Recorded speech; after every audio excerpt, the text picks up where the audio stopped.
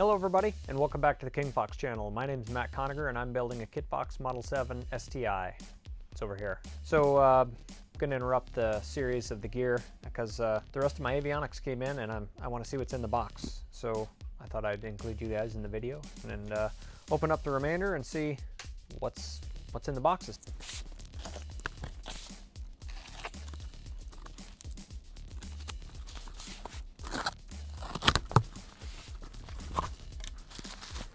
All right, in here we've got a GSA 28 unit only. Again, it's been a while since I ordered, so I can't remember what a GSU 28 is.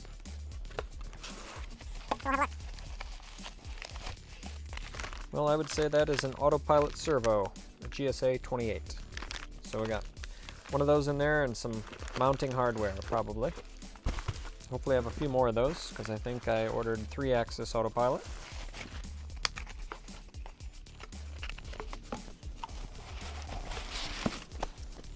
Box says FAA 8130-3 tags enclosed.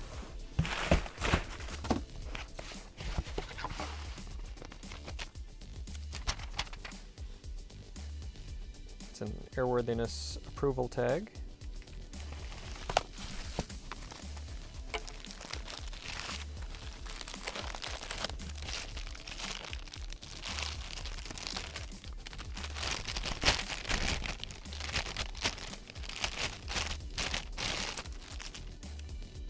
Like a com radio, possibly a nav com. Not entirely sure. Let's see. A GNC 255. I'll have to look that up and put put that down below on what it is.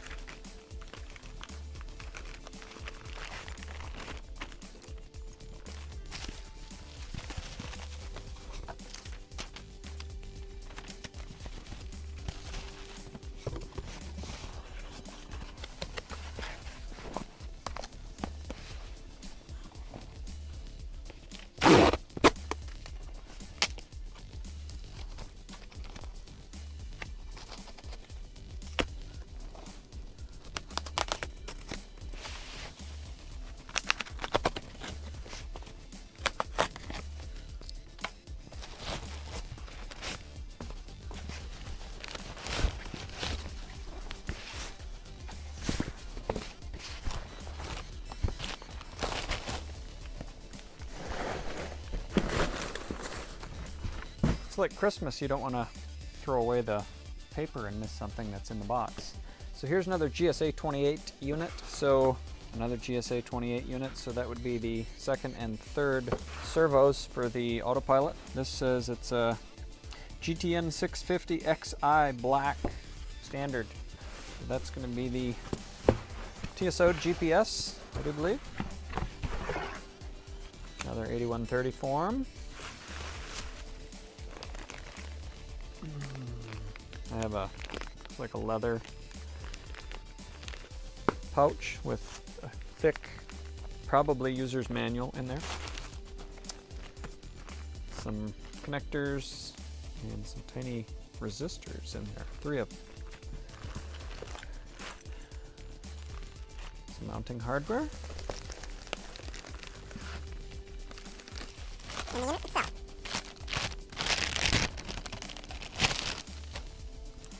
So that's nice. Um, a little, I did want the GTN 750 with the taller screen so I'd have a little more real estate for touching and changing frequencies. For those of you that don't want electronic stuff in your cockpit, then this probably wouldn't be for you. Uh, I'm kind of fascinated by it. Um, but anyway, so there's GTN 650. I know I got a Navcom in there, and then I wanted an additional Navcom, so I'm pretty sure that's what the other uh, that first electronic unit was that I pulled out. So I'll see what's in this box and then I got one more to go.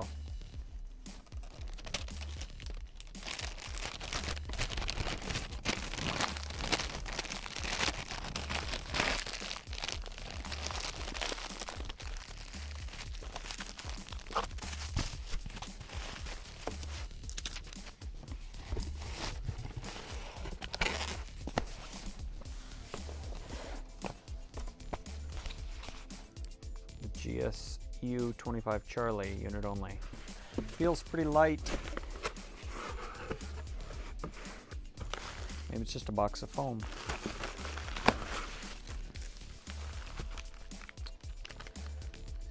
Oh. Maybe that's AHRS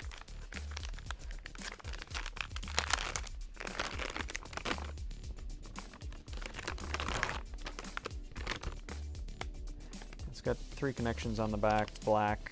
Uh, I'm gonna leave it in there for now. So yeah, I think that's possibly AHRS, but again, I'll GSU 25 Charlie, so I'll put whatever it is down below here shortly.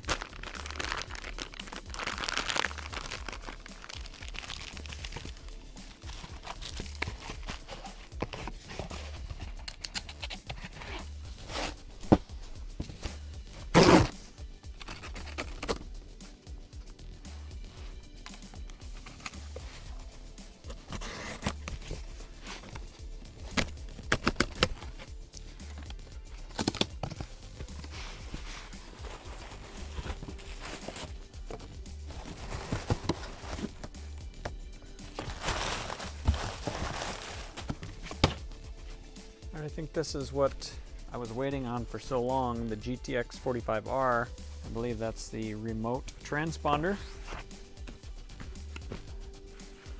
This box is very light also.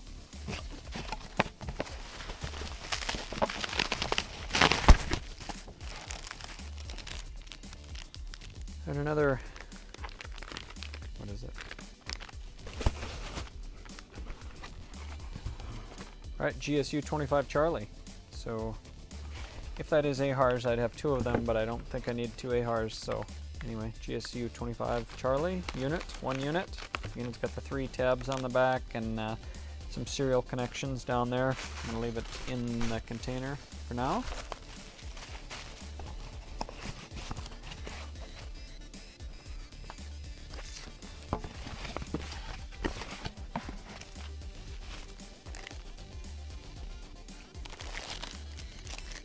Definitely remote. Got some serial connections on the back here and possibly a serial connection. It's got a port that's covered with a dust cover that looks like it's spring loaded. So that is going to be remote, remote mounted. I'll probably go probably stack just above the 650 in the dash someplace or I guess I could mount it in the back if I need ballast, something like that. Um, so that's going to satisfy the remainder of my avionics. And I think I listed some prices on the previous video when I received, I listed the full price that I paid for my avionics, which was in the realm of $37,000, I think. Um, and when I got the first set of boxes, I, I thought it was everything. But then I found out from Deborah that I did not get everything and that I had another box remaining and March March 16th or something was the was the final ship date. And I ordered in May of last year. So if that gives you an idea of some lag times if you want to if you want to order your avionics and get them ahead of time order them ahead of time. Um, so I'll probably stack these boxes in the in the house next to the other boxes avionics because I'm not yet ready for avionics. Probably won't be for a while but it's nice to have them all here so that when I get there I can start to put them in and build harnesses or do whatever it is I need to do to get everything connected and fit into the panel. So another thing I need to do is find my panel and lay everything out. Um, when I was at the Kitfox drive-in in June of last year, the, the Garmin rep did help me. He put stickers up on a panel of a Kitfox that was in the hangar, built, ready to go for Oshkosh. So he said everything I have here will fit. Um, if I have any extra space, I'll probably find something to stick in there. Um, but I would like to put useful items in there. I am going to put, I think, recessed head jacks in, but I think I'm going to mount those in the in the side panels of the of the center console. Um, I would like the headphone jacks up front, and then I do want to add in some USB power sources, so probably USB-C, maybe one USB-A.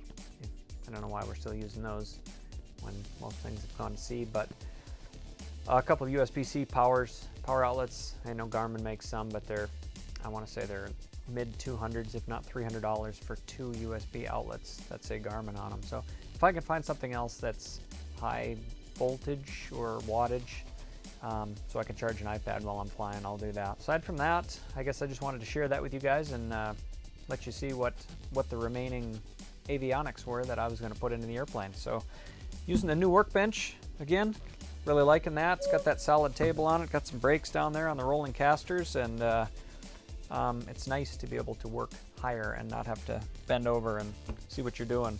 So thanks for stopping back, and I'll see you guys on the next episode. Hopefully, it will be the remainder. It'll be the final video of me putting the gear on and getting that all together. So stay tuned, and thanks for coming back. Have a great day.